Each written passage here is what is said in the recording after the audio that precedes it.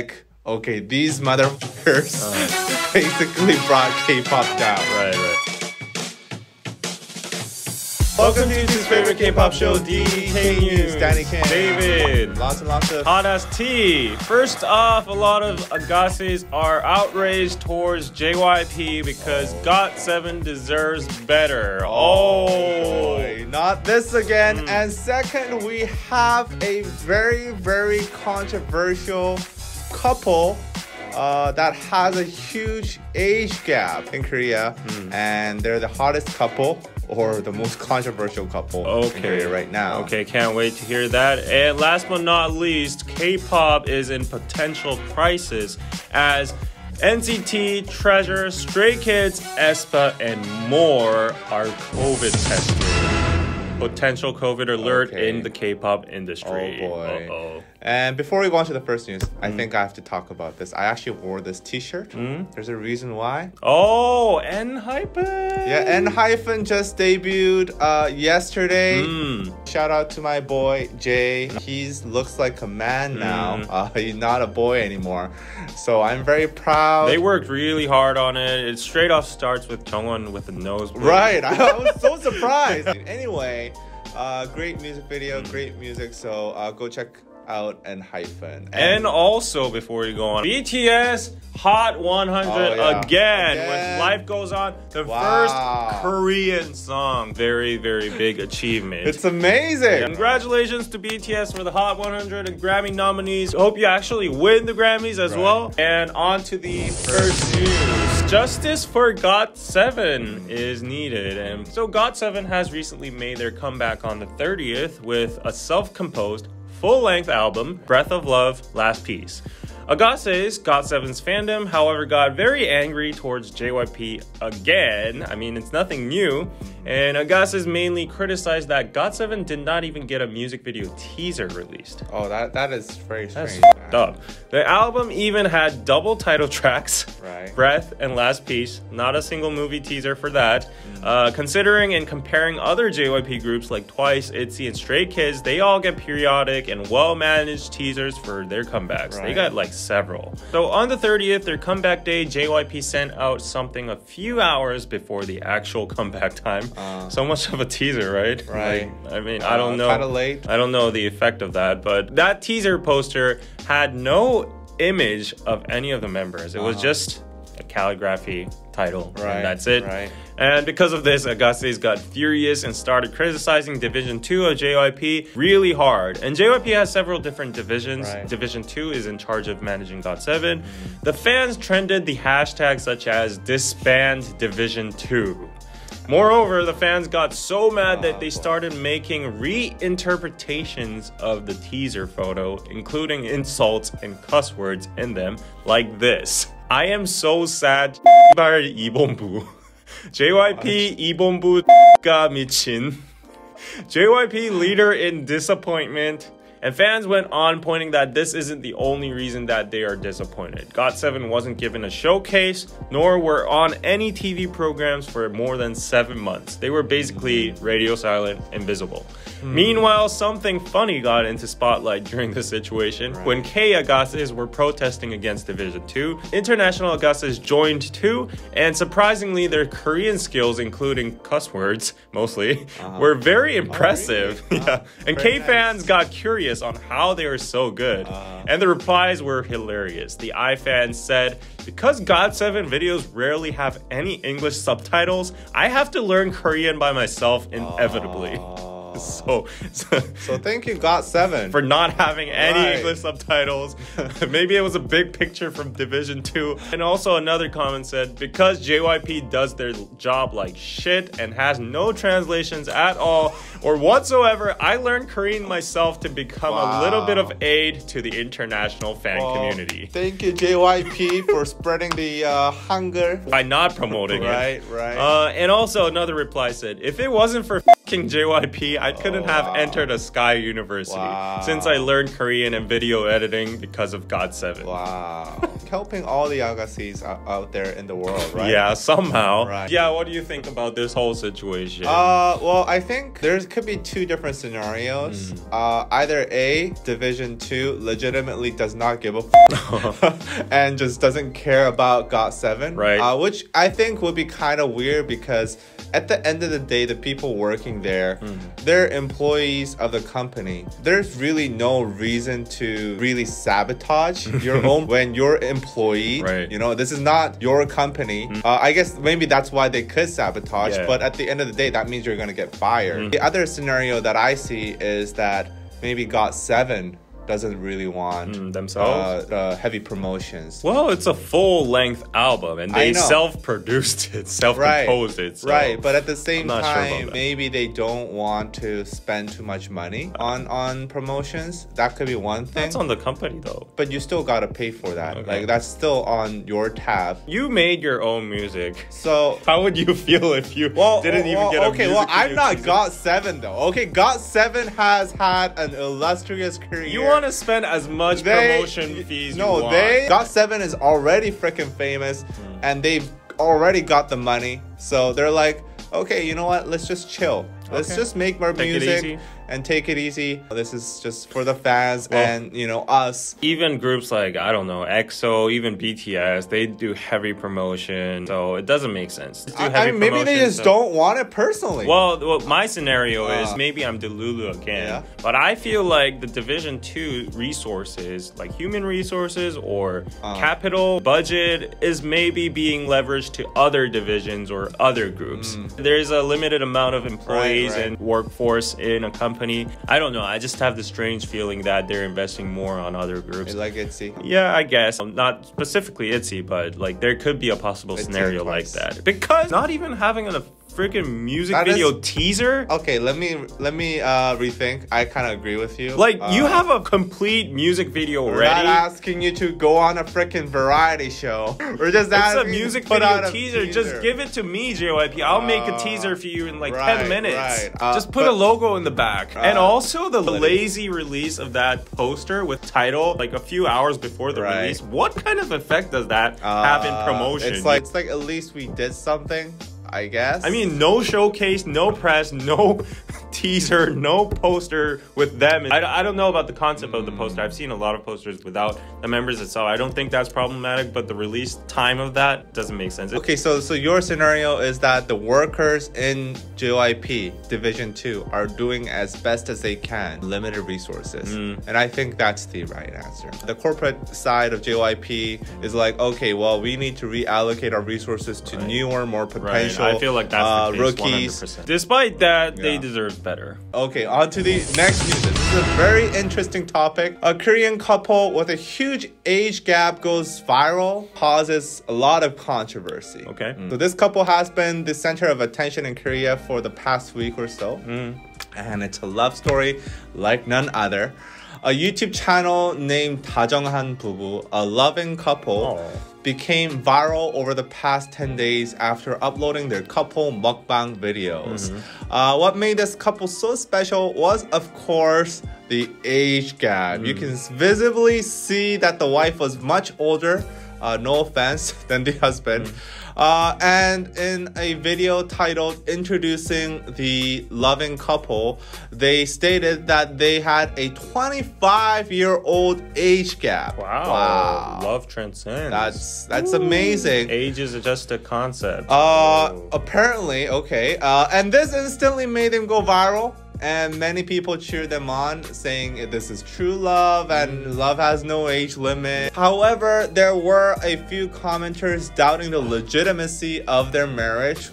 Saying it's a fake couple trying to make money off of YouTube. Uh, receiving such allegations, the couple eventually uploaded a video clarifying all the facts. oh my god, I feel so. It turns out they did lie. Oh really? Okay. Uh, what is it? about? shockingly, they revealed that the wife was not older by 25 years, but 35 years. I can see why they lied with that. Okay, Oh, okay, go boy. on. though. Okay. In the video, the husband stated, We were afraid Of people would criticize us uh, more if we revealed our actual ages. However, I think it's right to tell the truth. I am 38 years old and my wife is 73 years old. People have different tastes, I guess.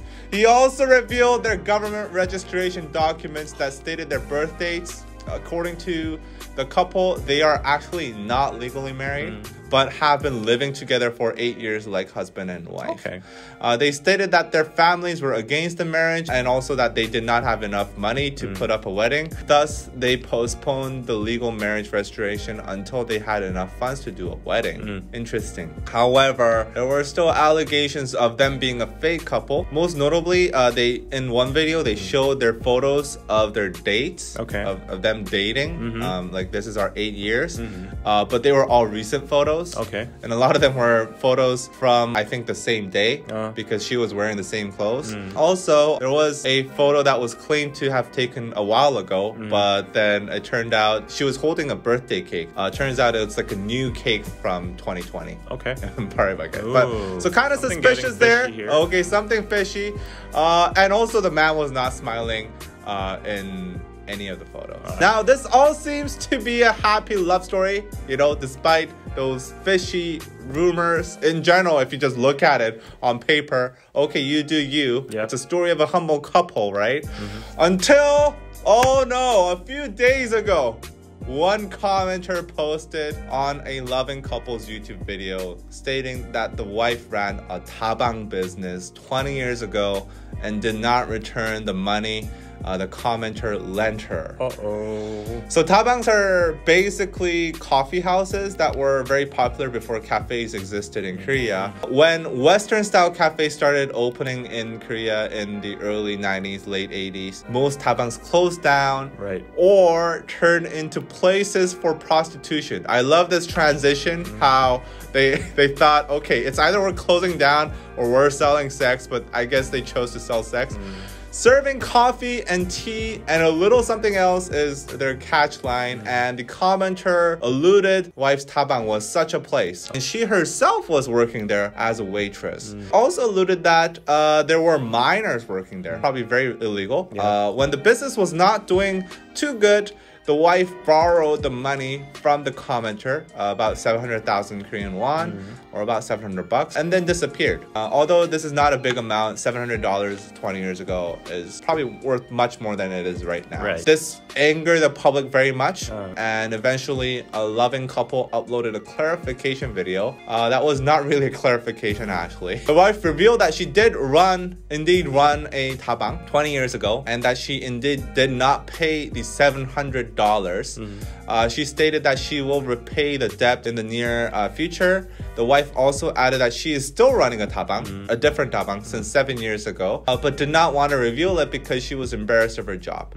She basically told uh, the netizens, "Oh, please stop hating me. Uh, please try to understand me. Uh, stuff like that." Yeah. Netizens did not receive this clarification too positively. Many cheered the couple on because they were humble and cute, but uh, with the wife being the owner of a tabang, which is essentially a prostitution joint, and her not paying the debt and running away, it looks like it'll be hard for the couple to avoid the wrath of cadence to come here. Still ongoing. They're still uploading videos, I think, but it does look like this is probably the end of their YouTube careers. What do you think these YouTubers should do? Should do Yeah, to save their careers. to save their careers. What can they do? Well, get rid of the taba, uh, get rid of all the illegal aspects. I mean, I don't think they pay back that rid of- seven hundred thousand won and start over. Have a fresh start. Make a clarification video. We're clean. We just want to continue our cute love life and show it to you guys. I, I think that would be a right way to make amends. Are people Yeah, being too nosy? to an extent, I don't feel like the fault is exclusively just for the couple themselves or the grandma. Uh, She is a grandma. Yeah, uh, I mean, come on. 73 is a grandma, okay? Okay, okay. Stop pretending that What this is a call her? normal The- relationship. the- uh, the okay? lady. The grandma. Yeah, the lady.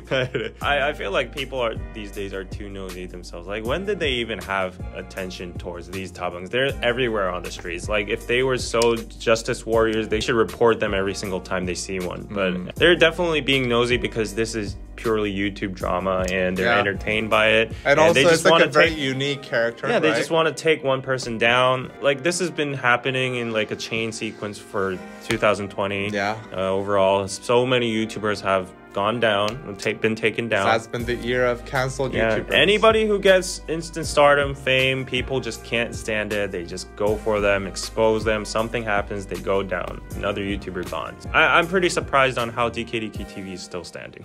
Uh, uh, we're not running any prostitution joints. Yeah. I, I also think that people are kind of too nosy. Yeah. Honestly, who cares if their marriage is fake? I think it's fake. I'm just gonna watch it for the pure entertainment value. Exactly. If you look at that guy's face, he's not enjoying any of those dates. I Do they like kiss in Yes. front of camera? Oh, but but when when he And the guy- kisses, the guy's face, he does not look at her eyes. He does not look at her face. He looks somewhere else while he's kissing, and as soon as the lips meet, um, he goes like, hey, that's a prejudice. I I don't know, man. I I am fishy here, okay? You are and, fishy? And Okay. uh, I get that people have different tastes, but I just cannot imagine dating someone fucking older than my mom. Hey, it happens vice versa a lot. I don't want to date someone Literally, who's like Hollywood- younger than my daughter. Literally, Hollywood grandpas date I know 19 year old it's models. fucking weird. Like- Woody Allen's fucking weird. This is fucking weird too. I mean, I'm, like weird. whatever about the love aspect, but At the end of the day, I think if you put out your life on the internet, then they gotta expect those No- nosy there's people. nowhere going back. Uh, on to the next news. Okay, so red alert for the whole Oh, entire K-pop industry. We might not be getting any content in the near future because just to name a few, NCT, Treasure, Stray Mm. Kids, aespa, all big names from all big 3 companies. Right. Were COVID tested for a reason. And as I said, the K pop world and several idols might be in grave danger because there is a possibility of COVID spreading among the K pop idol scene. On the 30th, UP10TION's label TOP Media stated officially on their homepage that Bitto was tested positive. After a schedule on the 29th, Bitto was notified that he had contacted with a COVID positive person, and Bitto got tested on the 30th and showed positive for COVID 19.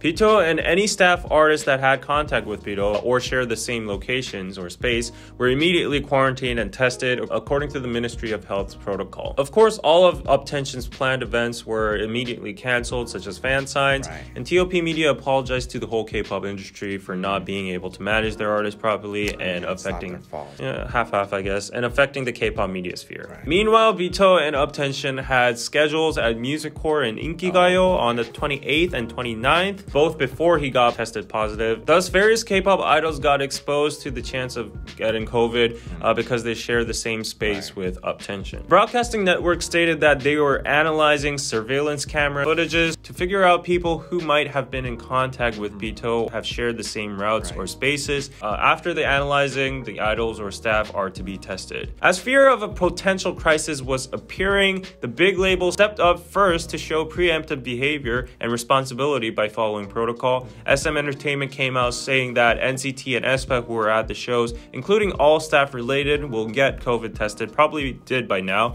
And JYP and YG also followed, saying that Stray Kids, AKMU, Treasure have already been tested and is under quarantine at the moment. Actually, breaking news: Stray Kids have been revealed all negative. That's good. So they're all just testing. But Yeah. we don't know who's Yeah. gonna be positive. And also, April's Naeun and IZ*ONE's uh, Kim Minju, both MCs of the two shows, got tested too. And fans are especially worried about them because Naeun is on reality shows, variety shows, and IZ*ONE is planning a comeback on the 7th. Other idols that were at the show, such as B2B4U, STAYC WOODZ, CM Blue, and more, all stated that they would get tested. While K pop labels are taking cautious measures, K pop shows will most likely be canceled for this week or for the short term due to potential cases of COVID occurring within the K pop field. Uh, SBS MTV's The Show has already decided that its show planned on December 1st today will not be held. On the contrary, there is controversy over the MMA Melon Music Awards pushing their schedule as planned,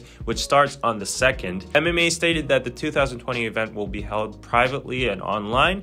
MMA week contents have already been pre-filmed. Uh, also, the awarding ceremony will be separately shot, abiding by distancing rules and protocol, without any artist having to collide with each other. Oh, that's gonna be interesting. I want to see how they pull that off. Yeah. So my question is, what will happen to K-pop in the short term? Is Mama going to be canceled? Mama's not gonna be canceled. What? What? Mama's far away. I don't think this is like that big of a. I mean, I don't want to uh, underestimate the power of Corona, but at the same time, I, I think people are kind of overreacting. Like this is gonna end K-pop this year or something like that.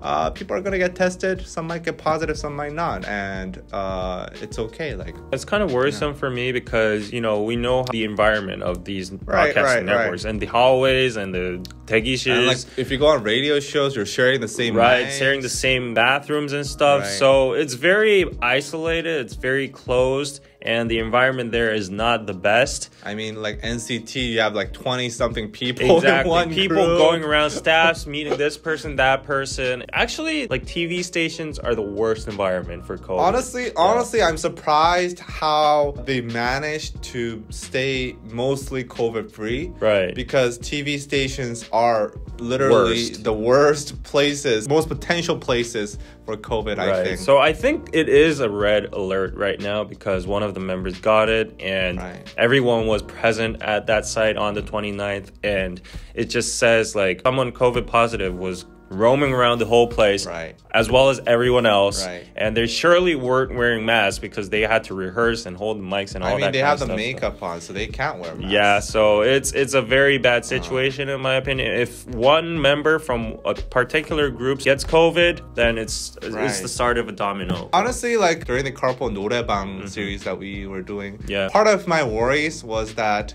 okay, if we have corona, Oh yeah. and then we infect the guests, Mm. idols, and then they infect other K-pop idols, Right. It'll be like, okay, these motherfuckers Uh-huh. basically brought K-pop down. Right, right. That And- chain reaction is definitely a worry. And actually, the netizens are reacting to this, saying like, "Who the hell is up tensions Bitto, and why is he spreading COVID?" Haters are blaming him. I feel so bad for him because, like, I mean, he might have been. To, I mean, he, he- it- it's, not, his- totally his contr- under his control. It is right? not under his control. Like you I- never know uh, who you're gonna meet on the street or a restaurant. Or, I mean, I saw an interesting piece of news last week. There, there was this one case that happened in like a rural area of Korea, and suddenly that spread into like three different cases in other parts Right. of Korea. And the the joint point was like there was this random restaurant, and there was a doctor from a hospital there. There was a student there. There were construction workers there. They all got COVID there. Went back to their own places and spread Oh. COVID in their c- it's like communities. COVID hotspot. So we can't really be Yeah. under control. Like we need to eat at restaurants and stuff. I mean, restaurants are shutting down. life goes on, I guess. Let's not be too hard on Bitto. I, I feel like he's gonna beat himself down too. I mean, he's point. already sick, guys. Uh, let's not beat down Right. someone who's sick already. Mm, uh, yeah, let's just hope for the best in K-pop, and like let's just hope no more cases occur. Okay. Uh, I guess they might be extremely cautious because it's their like Job. job, career, Right, right. livelihood. They know that the environment is extremely bad, so I, I feel like maybe they are taking like Right. precautions, but Right. you can never be too safe. So, do you think MMA's pushing forth? Is that okay? I don't know how they're gonna pull it. It's I- gonna be weird for sure. I think I think what they'll do is they'll leave the award on a table, Oh. and then the Yeah. winner gets to walk up to the table and take yeah, it. they take like separate routes, Right, they like right, multiple right, routes to the. and there's no like you know usually you have the artist seats, but they I think they'll get rid of those. Yeah, that's gonna be a point to watch. Yeah. I, I'm gonna watch the MMAs solely because of that. Honestly, we could gather Mm. this post-COVID TV formats Mm.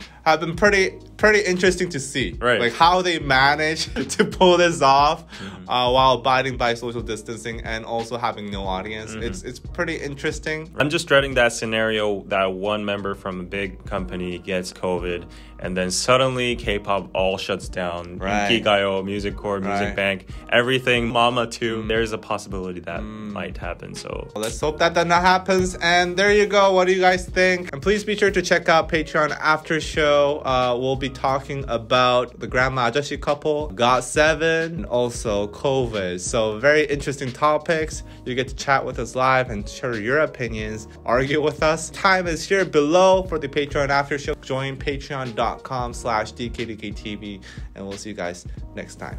Bye bye.